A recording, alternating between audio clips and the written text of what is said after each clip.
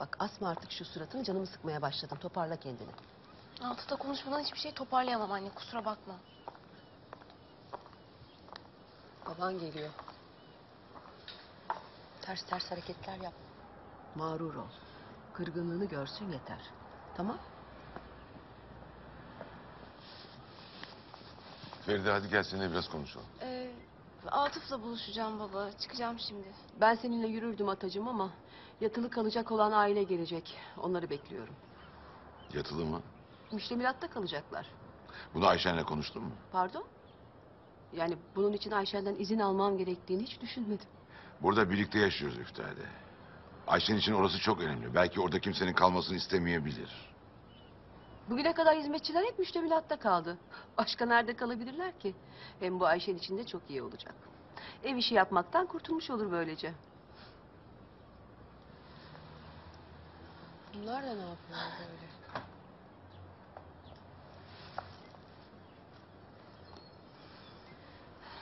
Atabey benimle bir gelir misiniz? Size bir sürprizim var. Sürpriz mi?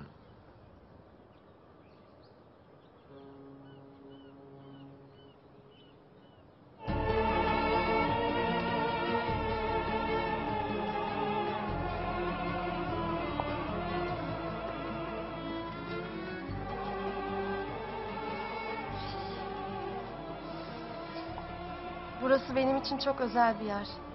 Annemin anılarıyla dolu.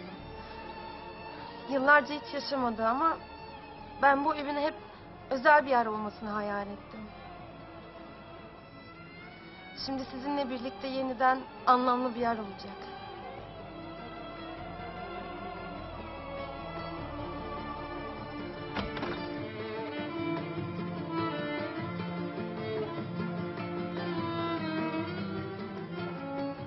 Ayşen burası çok güzel olmuş. Çok. Beğendiniz mi? Burada daha rahat çalışırsınız diye düşündüm. Çok beğendim. Ama, Ama, bu mümkün değil Ayşen. Mümkün değil. Sen gerçekten çok komik bir kızsın.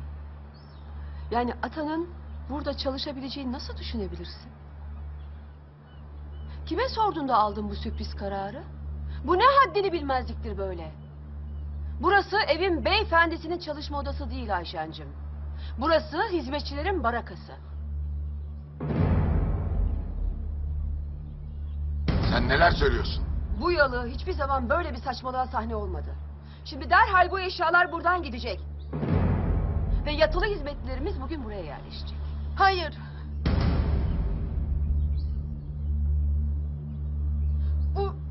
Baraka dediğiniz yer benim annemin eviydi. Burada başka hiç kimse kalamaz. Atabey burada çalışmazsa bile ben burada kalırım. Ama başka hiç kimse kalamaz.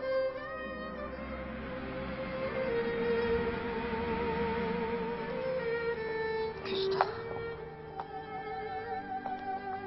Bu eşyalar derhal bugün buradan gidecek.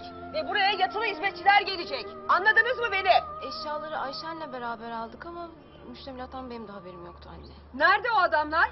Hemen şimdi derhal bu eşyalar çıkıyor buradan. Hiçbir şey hiçbir yere gitmiyor.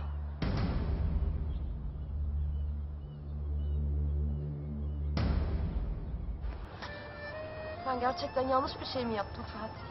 Sen yanlış bir şey yapmadın. Sadece müştemilatla ilgili hissettiklerini savundun. Bunda bir şey yok ki. Tabii mutlu etmek için yaptığım şey ama onu da üzdüm. Her şeyi mahvettim.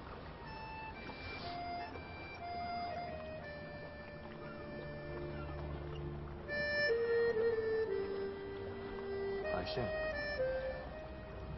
Bugün yaptığın şey Atabey'i çok mutlu etti. Orada çalışır ya da çalışmaz. Ama bugünkü sürprizinden çok mutlu oldum. İnan bana.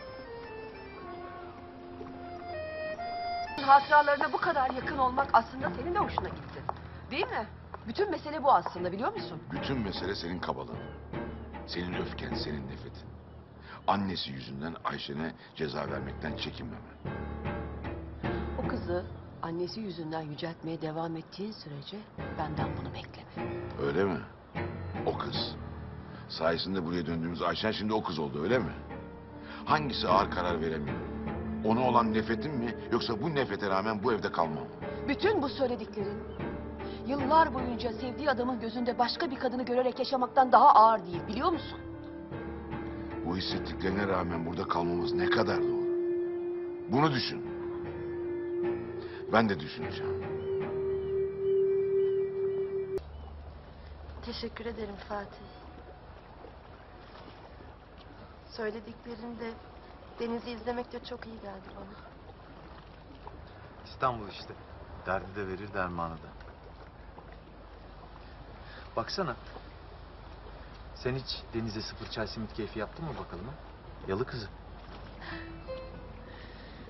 Feride birkaç kez bir yerlere götürmek istedi ama bir türlü fırsat olmadı. Canım ben Feride'nin götüreceği o süslü püslü yerlerden bahsetmiyorum.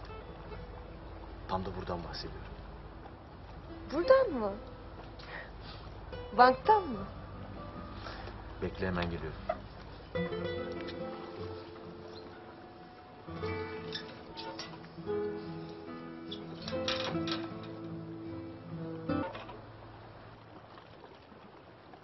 Bu mesafeden ancak bu kadar denize dalınır.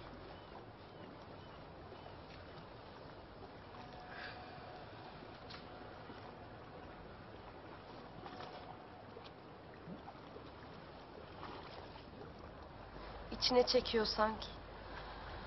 Rengi de kokusu da...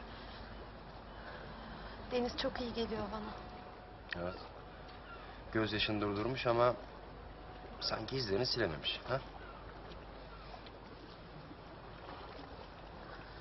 İyiyim şimdi. Ayşen. Kim üzdü seni? Geçti gitti. Önemi yok. Anlatmak istemiyorsun. Aslında haklısın. Bence de en iyi dinleyici Deniz'dir. Aslında başka bir dinleyicim vardı benim. Hı. Ama Deniz de dinliyor sanki. Cevap vermiyor ama huzur veriyor. Deniz'in ne söylediğini daha yakından duymak ister misin? Ben yüzme bilmiyorum ki. Korkma canım seni denize atmayacağım. Hadi. Hadi kalk Deniz seni bekliyor. Ben Fatih'i bekliyorum.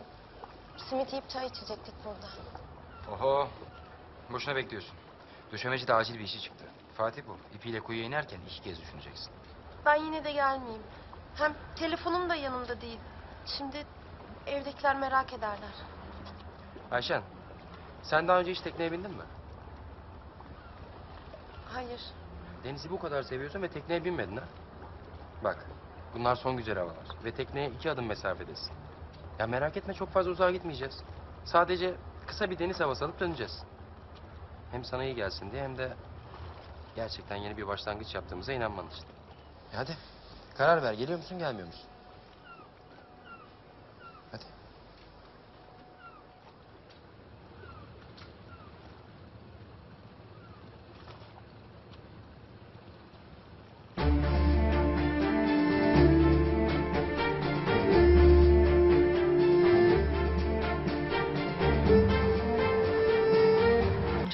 Kocan beni yalıdan çıkmakla tehdit etti. Niçin? Haddini bilmez bir yabancı için. Ben hayatta dönmem. Asla dönmem o apartmana söyleyeyim sana. Baban da o apartmanı bu yüzden kiraya vermiyor zaten. Belki bir gün hadi toplanın gidiyoruz diyebilmek için. Anne bir şey yap o zaman. Kızım ne yapayım? Ne yapayım? O haddini bilmezin karşısında yalvarayım, ayaklarına mı kapanayım? Ne yapayım? Evet. Evet gerekirse git ayaklarına kapan. Ay bu saatten sonra o apartmana geri dönmek büyük rezalet olur yani. Ayşe'ni idare etmek kolay. Ama zor olan baban. Baban kızım.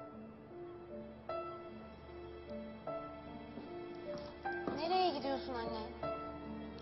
Zor olandan başlamaya.